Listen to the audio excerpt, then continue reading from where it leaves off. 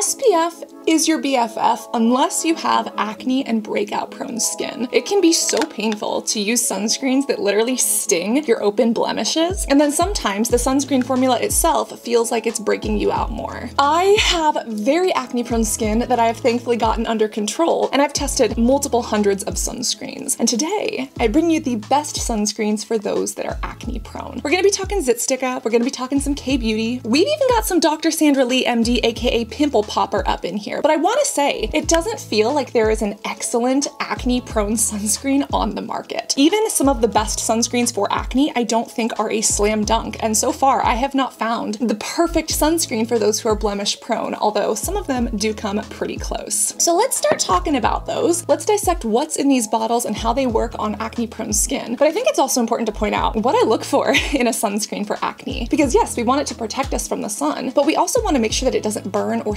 our skin. I look for something that doesn't sting or has minimal stinging or irritation, but I also look for something that doesn't contribute to redness. Blemishes and pimples are already red and irritated, and if I find a formula that just makes those red pimples look worse, I feel worse about myself. And of course, you want a formula that preferably won't clog pores. Now, the whole comedogenic scale is absolute bullshit. We've spoken about that multiple times, but there are certain ingredients like coconut oils that not all skin types get along with. And if you are acne prone, coconut oil could be really great, but for some people, it's not the friendliest. So I wanted to pick formulas that don't feel heavy or goopy or greasy on the skin, that don't feel like they clog pores or contribute to breakouts, and formulas that hopefully don't sting your pimples or sting your eyes. So let's start here in K-Beauty. This is the CARE:NEL No Sebum Perfect UV Sun Shield with SPF 50 PA++++++. This says it is milky and brightening, and it literally says no sebum. And you know what? This delivers. I have never met a mattified acne sunscreen, but this one sure does come close. Whether you're oily and acne prone or dry and acne prone, this sunscreen is fantastic. It's a mineral formula, so it's less likely to sting the eyes and the open blemishes. Takes a little bit of rubbing to get in, but it does go in really sheer once you do. And on top of that, this has tea tree in it. Tea tree is antimicrobial and antibacterial, so although this isn't going to erase acne off your skin, this is an excellent choice for someone who is acne prone. And specifically if you're worried about looking greasy or oily, again, it's not mattified, but it looks a little bit less shiny than something like the new Glow Recipe Watermelon Niacinamide Sunscreen.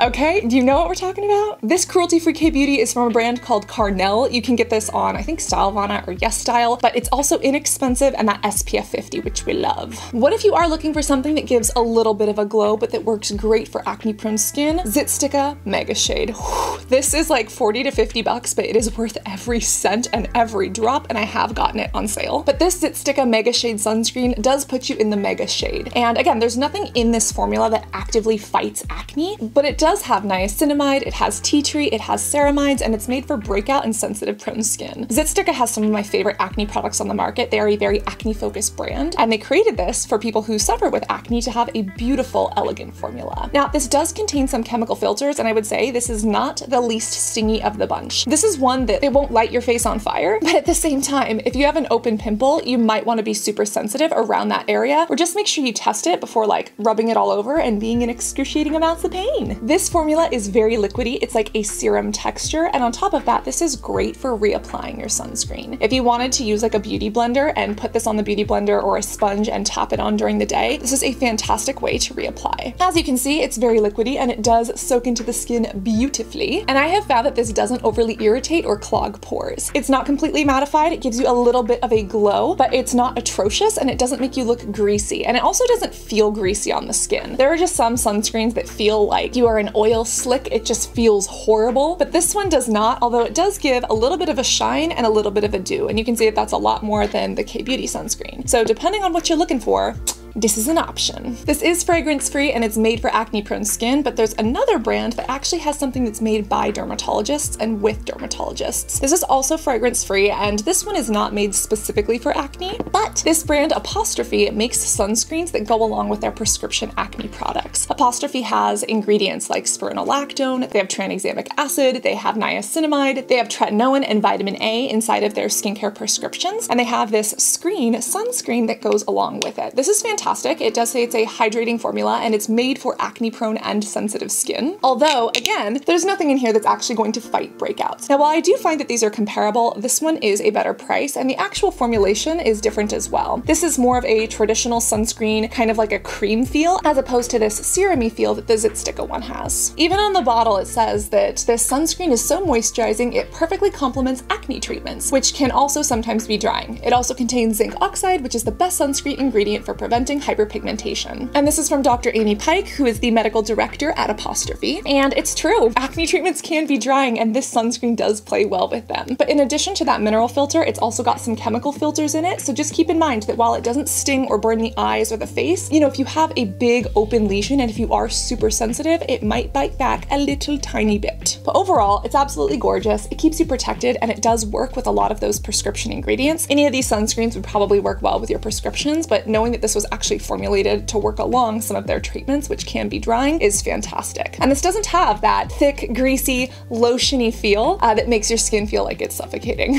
Something else that's made by doctors and dermatologists is the EltaMD UV Clear Broad Spectrum 46. This cruelty-free formula is specifically made for acne-prone skin. It's literally called the UV Clear, and they say that it calms and protects acne-prone skin. It has high purity niacinamide, transparent zinc oxide, and UVA UVB protection, and boy is this good. If you are someone who struggles with acne and hyperpigmentation, this is fantastic because of that niacinamide. Niacinamide stops your skin cells from sharing that melanin, that pigment that is created after a blemish or from sun exposure, and stops it from traveling to the keratinocytes, those skin cells in your skin, which can actually cause some of that discoloration on those blemishes. This is fantastic for anyone who has post-breakout hyperpigmentation or PIH, post-inflammatory hyperpigmentation, and the formula is actually less stingy and burny to blemishes and eyes than the Zitsticka one or the apostrophe one. And that's because it's just got zinc oxide and octinoxate. Now I will say that niacinamide has a tendency to pill, and this sunscreen can pill a little bit if you use too much. Is there ever such thing as too much sunscreen? Is that a thing? Can someone tell me. I use a lot of sunscreen because I've had skin cancer affect people in my family and I've actually seen the damage on patients, clients, as well as family members and so many people who have struggled with literally having holes cut out of their noses and their skin. And knowing that sunscreen helps prevent that from happening is something that I'm very, very interested in. So I use a lot of sunscreen. This doesn't pill terribly. I also feel like it depends on what other product you're using underneath it. But niacinamide does have a tend to pill up. And so if you are using this, you know, with a lot of other products or a vitamin C underneath or putting under makeup might not be the best choice for you. In addition to niacinamide, this also has sodium hyaluronate, which is that form of hyaluronic acid to help with moisture, and then it does have lactic acid, but it's not really acting as an exfoliant in here, it's mainly a pH adjuster. The niacinamide and the sunscreen is really what's doing the groundwork here, but this is made for acne prone skin and it doesn't feel like it's suffocating you, it doesn't feel like it overly clogs pores, it doesn't sting or burn the same way many other sunscreens do, and this is a fantastic cruelty-free Swiss American sunscreen that is literally made for acne prone skin in mind. I actually didn't know that EltaMD was a Swiss American brand until probably three weeks ago, and that was really cool to find out. Another bonus is that this formula is oil free, so if that's something that you're concerned about, this one has no oils, whereas the Zitsticka or the CARE:NEL have other oils in them, such as sunflower seed oil. Now, if you're not afraid of the oils and you're actually looking for something that has oils that are nourishing to acne prone skin, look no further than Averglow. I think it's Averglow or Averglow, I'm not exactly sure. This is the SPF Pure Protection Invisible Mineral Sunscreen, and the entire reason that I tried this is thanks to one of our beautiful butterflies. Anna Banana Alabama Patama in a hammock recommended this on the Discord and asked me to try out some of the Averglow products, and so I got these and tested them out for her, and I do like this sunscreen. It is a completely mineral formula, so it takes a little bit of grease to rub in, but it is also one of the most non-stingy formulas. If you have super sensitive skin, if you're someone who literally everything stings and it burns your eyes, it burns your pimples, like everything, this is going to be a favorite. It's a really nice and silky formula, and it does have oils like sea buckthorn oil that are actually really nourishing to the skin. Sea buckthorn oil has tons of antioxidants, vitamin C, it can actually help with wound healing. So if you have some of those open blemishes, this first off doesn't sting, and then number two helps them heal. And as an SPF 50, it actually keeps you protected. Now, as you can see, it's a little bit more of a milky formula. This takes a little bit more rubbing in than any of the other ones, so it might not be best for Fitzpatrick types five or six, but overall it is a wonderful formula. It's also got pomegranate seed oil, it's got grapeseed oil, amazing for antioxidants, and for skin healing and kind of skin support. And it's also dermatologist tested and they say that it is hypoallergenic. Now that term also doesn't have a ton of merit to it, but overall this is a really good brand. The brand is made for acne prone skin and it's literally called the Clear Skin Sunscreen. Even though this has oils in it, I don't find it to be the most oily formula. I actually find it to be a little bit more mattifying than even the Zitsticka or even the screen one from Apostrophe, but it is not back in that the way some of our Murad options are. I am so disappointed in Murad and the fact that this is only an SPF 15. This is the Oil Control Mattifier SPF 15 PA++++ from Murad, and this is a fantastic formula if you are oily and greasy. This is beautiful, and it comes out in kind of this pillowy, non-bally, non-pilly formula, and this is amazing. It is not the most sting-free. It does have zinc oxide, but it also has some of those organic slash chemical filters, so it actually goes onto the skin really nicely and it blends in really nicely. And again, it's not mattifying the way like a powder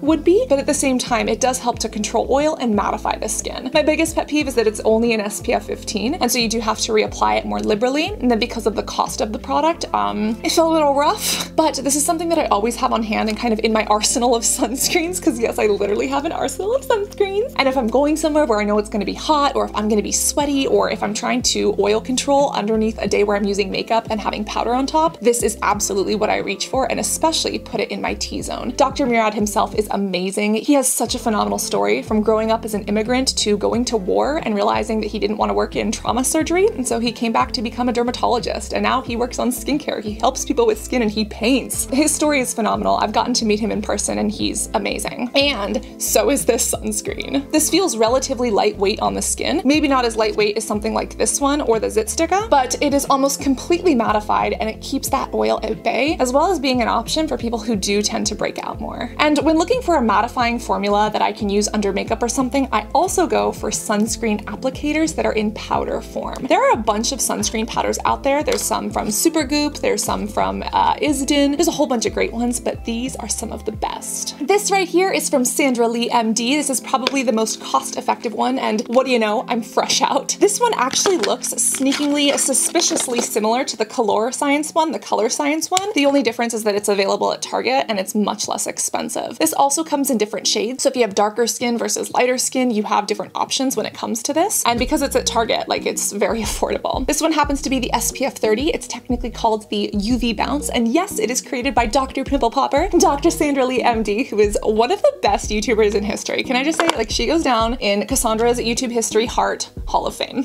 now, if you're looking for something that's even more elegant, let's say that you're someone who's really into makeup and you want things that look and feel elegant on skin, Jane Iredale does not disappoint. Like this right here, this is next level. You literally have these refillable cartridges, so this is more eco-friendly. And this makeup brush, yes, you can pop it up or down, but it has such a luxurious brush. Do you see the difference in this brush versus this brush? This one's a little bit more prickly. It's not very fine, right? And it's not very dome shaped. This is literally tapered. It feels so beautiful on the skin. It goes on so lovingly, and this actually provides really good coverage. On top of that, I find that this is much easier to clean if you wipe this on like a cleansing cloth. This you can actually clean and like keep it sanitary. I found that when I wipe the Colorescience or the Supergoop or even the Sandra Lee MD one on some of those little towelettes, the brush just doesn't seem to last as long. And then you have to throw away the whole thing when you're done using it. Whereas with this one, it's completely reusable, it's very eco-friendly, and you literally have these little powdered sunscreen pods that you put in the bottom and you can refill. And those also come in different colors. I find that this one tends to be a little bit more full coverage for me. And if you have the money to spend, or you're just like, I want to protect my skin, I don't wear a ton of makeup, but if makeup weren't a chore, I would wear it. This combines makeup and sunscreen, and it is probably one of the best skin-friendly purchases that I've ever made. Now, speaking of Colorescience, with the downfalls of this brush, they absolutely make up in a sunscreen that is basically a foundation. And what do you know? I can't find it. I think I put it in a suitcase. Maybe I put it in my bathroom.